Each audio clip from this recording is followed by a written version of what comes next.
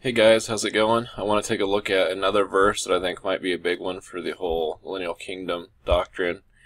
And let's look at Isaiah chapter 11, verse 6, which says, The wolf also shall dwell with the lamb, and the leopard shall lie down with the kid, and the calf and the young lion and the fatling together, and a little child shall lead them.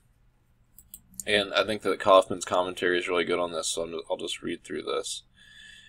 Uh, says, This is one of the most talked about passages in the Bible, and that is a mainstay of many premillenarian groups of believers, most of whom appeal to the passage in Romans 8.22, The whole creation groaneth and travaileth together in pain until now, which I've just previously went over in another video.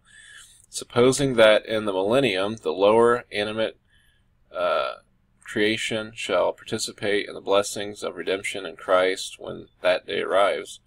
Regarding that verse in Romans, the word for creation means exactly what the same word means in Mark 16:15, namely all mankind having no reference whatever to the lower creation such as animals. And so I wanted to look at Mark 16:15 and uh, which, you know, this would have been interesting for the other video.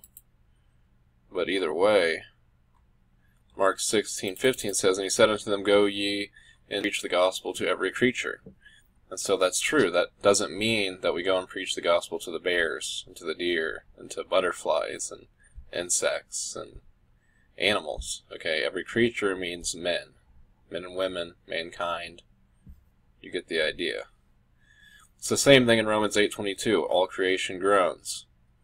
It means mankind and I've just uploaded a couple of clips, one from Robert Breaker, one from Gregory Miller, where they're pretty much saying that the earth itself, plants, animals, rocks, etc., are groaning, and so they're teaching without understanding is what they're doing. That's that's what I'm trying to point out. It's not the gospel, but we need to cut the crap and quit the you know try to our best to do the uh, you know to not teach without understanding. But the same time, you know, nobody's perfect, right?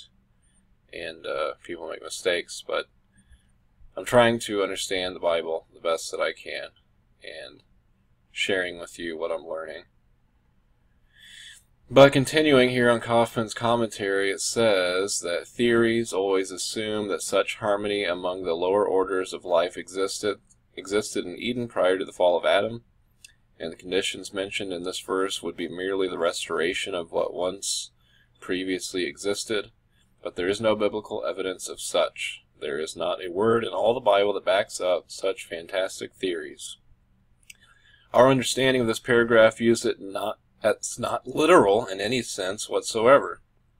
Note that the peace, harmony, and tranquility depicted here exist only in God's holy mountain.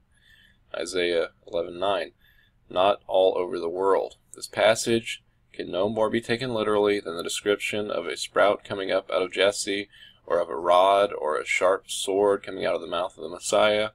The prophet is not looking to a time when animals of the natural world will live without enmity, but he is describing the peace of those in Jehovah's holy mountain, the kingdom of God.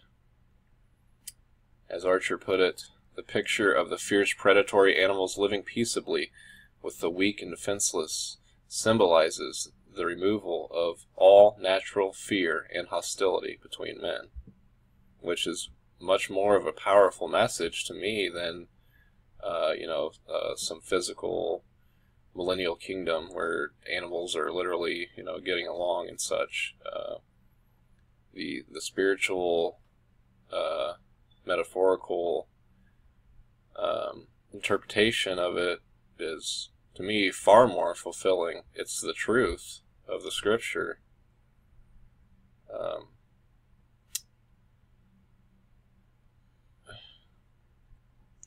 let's see what's to say. Peaky also rejected the notion that this paragraph refers literally to wild beasts because such a notion would be utterly contrary to the fact that Isaiah attributed the wonderful conditions described to a diffusion of the knowledge of Jehovah in Isaiah 9 peace among men and God's kingdom is intended. So, uh, Isaiah 11 9. They shall not hurt nor destroy in all my holy mountain, for the earth shall be full of the knowledge of the Lord, as the waters cover the sea. And so, uh, again, I think millennial uh, millennial kingdom teachers would say that the earth would be full of the knowledge of the Lord because the Lord's physically there, reigning on the earth, and, and He's ruling and He's teaching or something. And so, turning it into this literal uh, stuff is is nonsense, and it really robs the true message of Scripture. And uh, so, just think about that. That's Isaiah 11:6 and I'll look at more over time. So God bless.